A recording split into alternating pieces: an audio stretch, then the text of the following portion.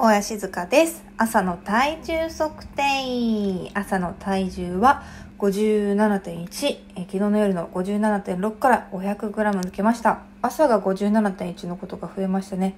昨日の朝から比べるとプラスマイナス0です。で、朝ごはんです。朝ごはんは、えーザバスのプロテインを飲みました。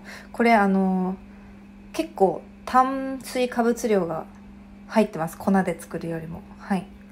で、間食はオロナミン C。まあ、炭酸ですね。炭酸ですね。ってまあ、飲むならこれですね。炭酸好きなんですけど。で、お昼ご飯はスープストックの、えーそうですね、その炭酸も飲んだし、ザバスのプロテインに炭水化物結構入ってるっていうのもあって、えっと、今回はお米もパンもつけずに、スープだけ、ボルシチとミネストローネを頼みました。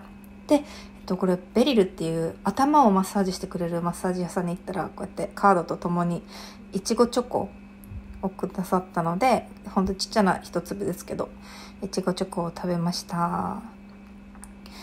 で、夜ご飯です。夜ご飯これ、えっとね、これどこだったっけ？ファミマかなで見つけたんですけど、肉豆腐めっちゃ美味しかったです。130キロカロリーなんですよ。で、お肉とお豆腐4つついてるんですけど、これがね、めっちゃ美味しかったんです。見つけたって思いましたね。まあ、これ、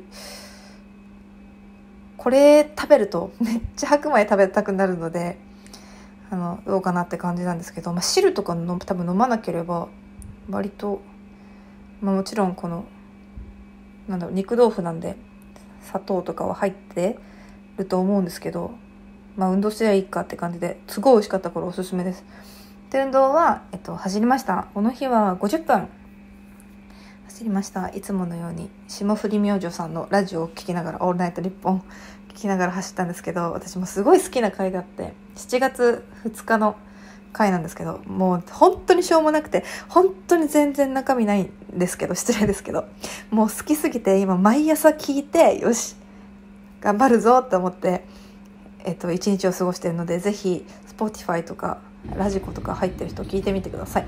で、走った後は、半身浴、今日は草津のお湯ですね。眩しいくらいに黄色でした。最近ね、ちゃんと湯船に浸かるようにしてると、肩こりがすごくいいです。で、間食、お風呂上がりにどうしてもアイスが食べたくなったので、アイスボックスにしました。アイスボックスに炭酸水を入れて、半身浴する前の体重まで水分を入れてから夜の体重測定です。夜の体重測定、えー、57.5今日の朝の57.1から 400g 増えた感じですね、まあ、走ったりしてそんなに食べてないですよね今日。あ食べたか。